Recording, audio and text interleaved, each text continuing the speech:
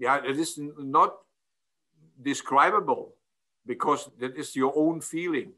So we had in 1974 the first time this trophy because the, the World Cups before was this uh, Rimet Cup, the smaller one, you know, which was then uh, won by the Brazilians because they had won them three times.